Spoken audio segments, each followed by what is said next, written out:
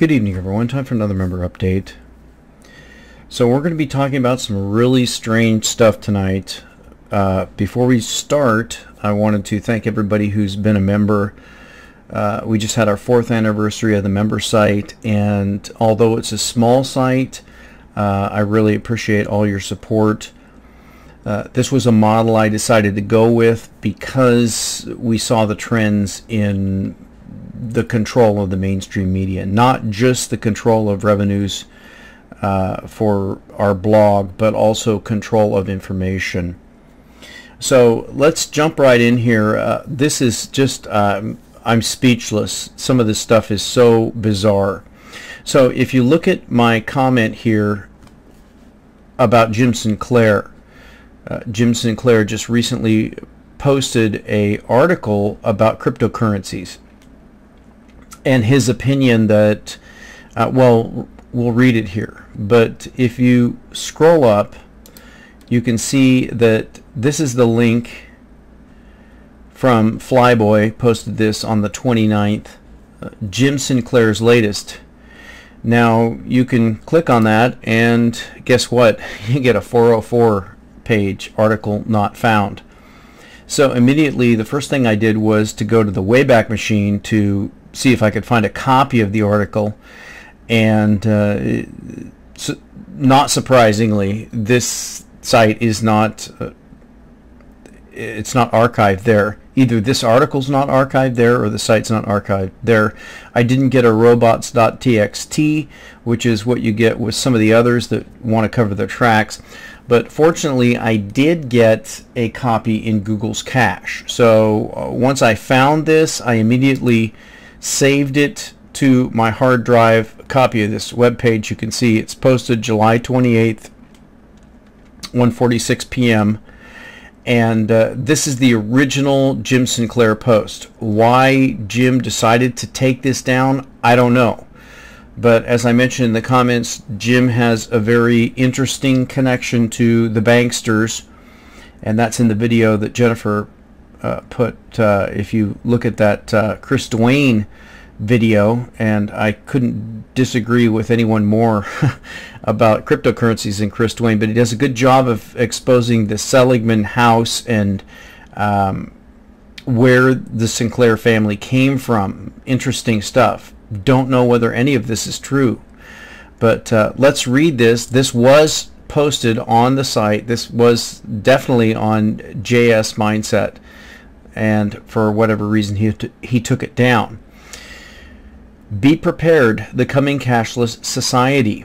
Counting the steps to a cashless digital currency. Count this one.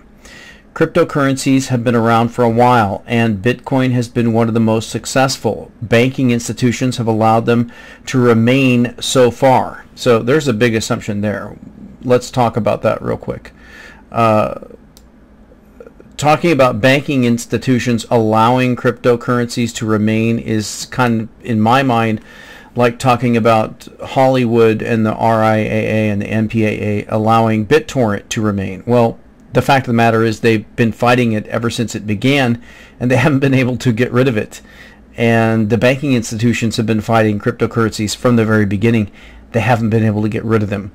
Uh, so they haven't allowed them to remain. They have remained in spite of them only because it reinforces their agenda towards a cashless digital currency. Wow. That's a big leap. So immediately, uh, Bitcoin and all other cryptocurrencies, which are basically offshoots of Bitcoin, the original idea, uh, was created to further an agenda towards a cashless digital world currency. That's a big assumption. The more accepted digital cryptocurrencies are, the easier it will be for governments and financial institutions to push their agenda of eliminating, eliminating physical currency. Well, um, again, that's silly. The bulk of transactions right now that you do, that I do, that the entire world does, is not using physical currency. In fact, um, sometimes when I get the offer when I'm in the grocery store to get some cash back, occasionally I'll take that because once in a rare while there will be a time where I have to use cash, whether that's giving money to a homeless person or just uh, buying something at a store, which is very rare to find a store uh, that only accepts cash. So on those occasions where I click that button and get 20 bucks out and leave it in my wallet, it sits in my wallet for two, three, four weeks or months because there's really everything I can do is by debit or credit card. So we're already on this system. I really don't know what he's talking about. The current system is a cashless system. Uh, people are already accustomed to it. Uh, but Bitcoin is a system outside of the banker's control. That's the key point that he skips over. Virtual currency has a future, but it may not be what you think. In order for central banks and sovereigns to easily employ digital currency, it must be accepted. Ultimately, central banks and sovereigns must have no digital competition. In the meantime, the cryptocurrencies have been left alone so that people will embrace the idea of being cashless.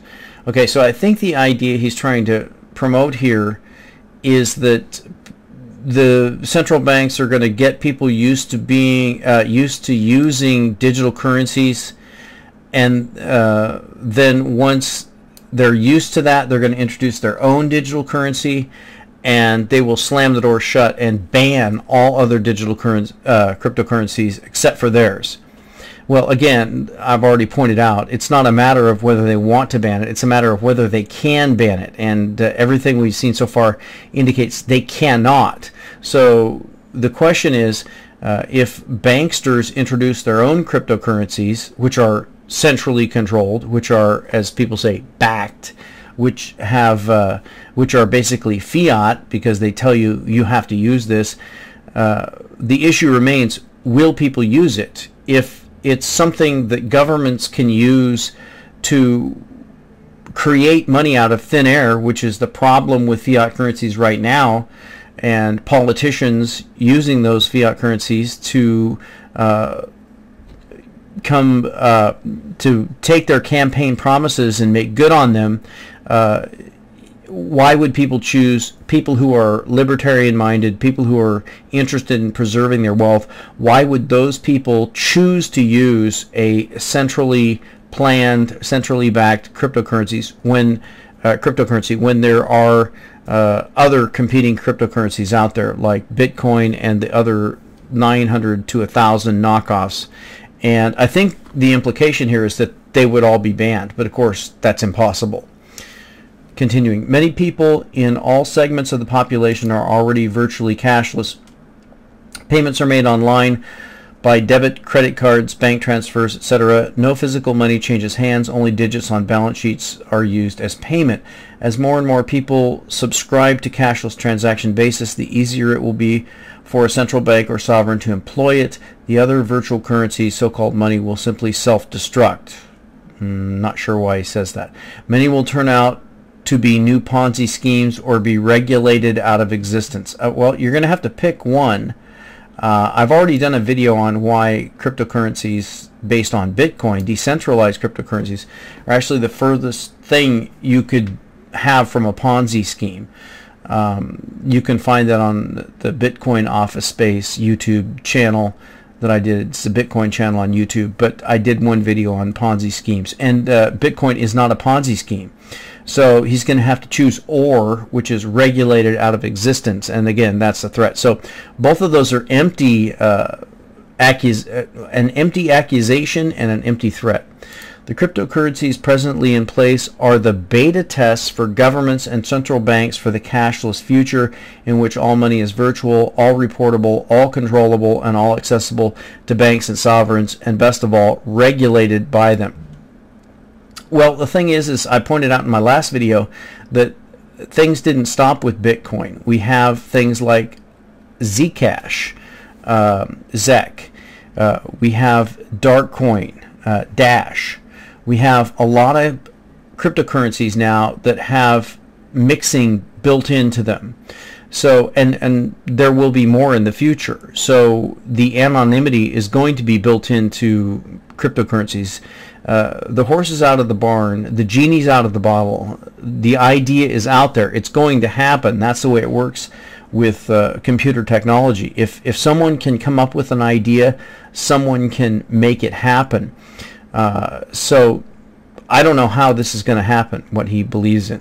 Federal Reserve full faith and guarantee Treasury bills in low denominations with the ability to make change is the future.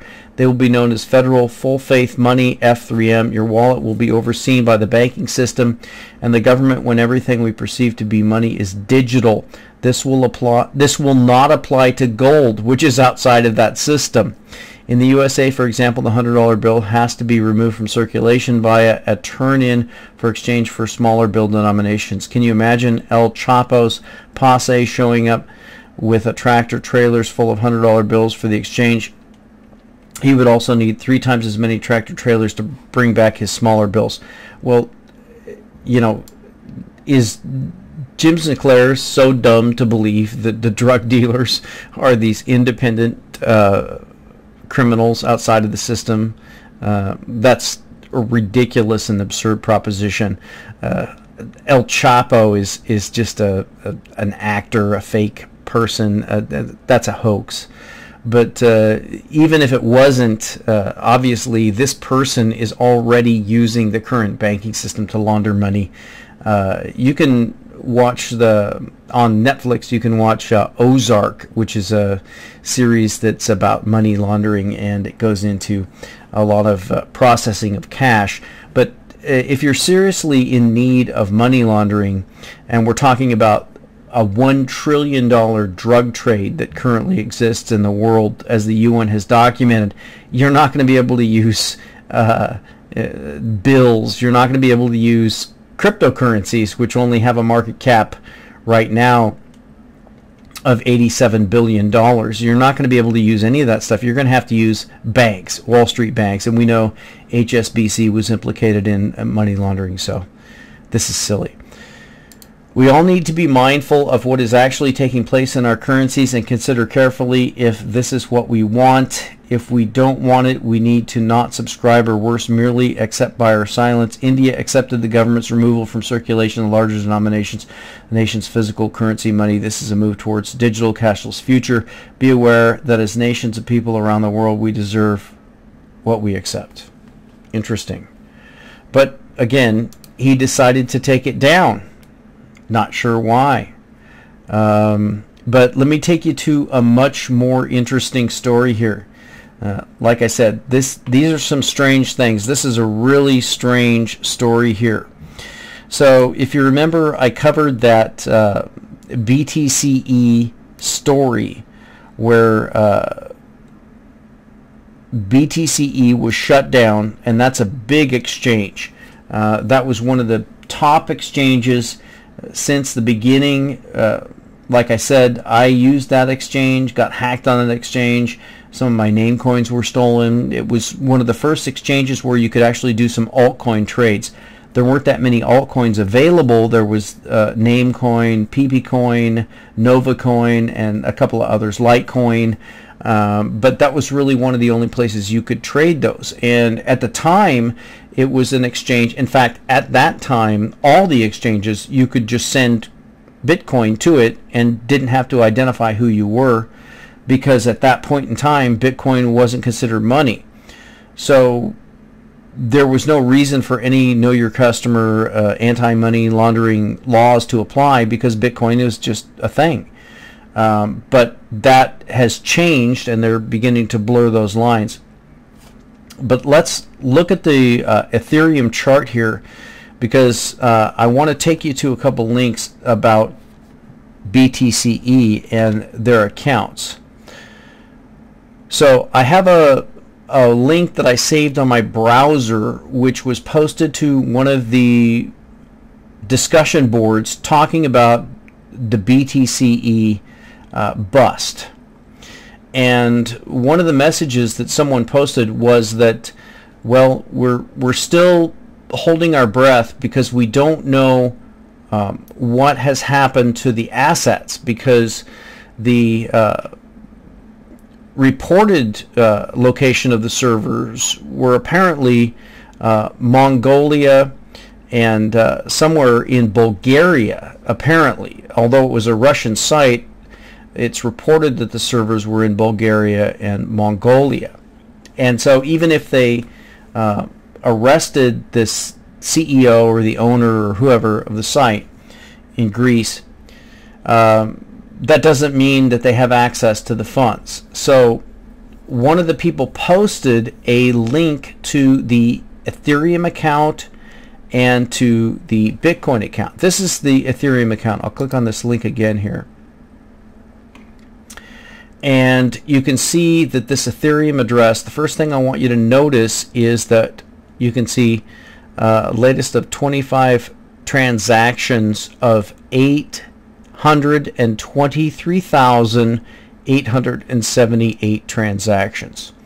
So the user who went onto the message board who said this is the real BTCE uh, Ethereum account uh, if it's not, you can see overview BTCE. If this is not their Ethereum account, then it's something that was planned for I don't know how many years. Uh, I guess I could download the CSV, but you can see here that there are almost a million transactions. So I think this is actually the real BTCE account. And when this was posted, the person was making the message, uh, making the point on the message board that don't worry, you may get your funds because no money has been transferred out of the Ethereum account.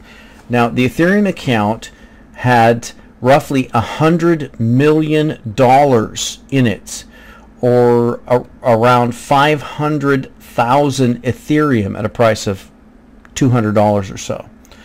Uh, I created a link on my browser for that Ethereum account. I also created a link on my browser for their Bitcoin wallet account. You can see the balance in the Bitcoin wallet is 411 Bitcoins. Now that's only about a million dollars.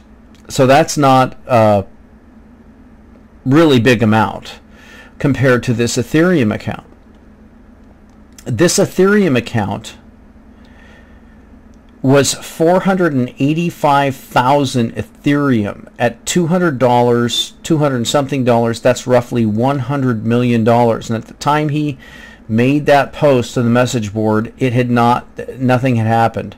Now what is interesting here is I clicked on it today before I did this video thinking that nothing had happened, but something had happened. Exactly one day and nine hours ago, someone transferred from BTCE to this address 485,705.4 etc. Ethereum.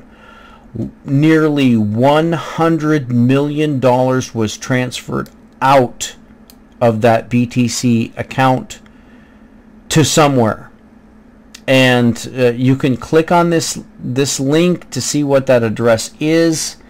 Uh, that address is not something that has been active that long. You can see the balance on this account is now 485,760 Ethereum, $95 million, and it has a total of 34 transactions. And you can see 16 hours ago. So this is crazy. Now, the first question that I asked when I saw this, uh, because I do a lot of uh, trading and transacting in cryptocurrencies, is who would immediately transfer a hundred million dollars in one transaction? Wouldn't you send a thousand first? When I'm pulling cryptocurrencies off of an exchange, I do a dollar, then ten, then a hundred, then a thousand, then 10,000, then 100,000, whatever. I just keep going up by a factor of 10 because I want to make sure to begin with that the transaction is going to go through and be confirmed. And then once it is, then I increase my size incrementally until I'm convinced that it's a safe uh, bet. Whether that's something to do with the exchange not being solvent, not being able to send me my crypto and locking that transaction away, or whether it's the coin itself not being able to process the transaction, whatever the reason is, I will incrementally increase my transactions uh, until I can get my coins off of there. Now this is crazy. Someone in one transaction, one hour or one day and nine hours ago, sent 100 million dollars of Ethereum from this BTC address that has 823,000 transactions to another address. Who is that? And why would they do that? Would that not have to be somebody who has complete trust in the Ethereum blockchain? In fact, wouldn't it be somebody maybe who's even in control of the Ethereum blockchain? Now, you can look up these addresses. There's a lot of stories on these. They're almost all in Russian. This is one that's actually in English, so let's play this one. To the best of our knowledge, the BTCE website went offline Tuesday at 1.49 p.m. Moscow time as shown on this farewell screen grab, also featuring some clear indications of data manipulation. $100 million worth of Ether was diverted from the BTCE account shortly after that. So there's a lot of comments in Russian. I don't have the translator out for all of the. There's other videos on this. Uh, you're going to have to do your own research. This is how much I've done, but I'm sure the story goes a lot farther. Right now, it's live. We have no information, but uh, my suspicion is I'll just tell you what I suspect is the case. Is that James Sinclair, who happened to take his uh, article down uh, is right in a sense that uh, it's very clear to me that whoever made that Ethereum transaction is so confident in the ability of Ethereum to move that money around that uh, they have no qualms about doing one transaction for $100 million. That tells me there's government fingerprints all over this. I see government fingerprints on BTCE from the beginning from, uh, to the shutdown to this transfer. This is really strange stuff. And again, it's a breaking story, so I don't really know uh, what's going on here. But uh, this is a really big story, and hopefully you guys can flesh some more out on this for me, and we'll talk to you next time.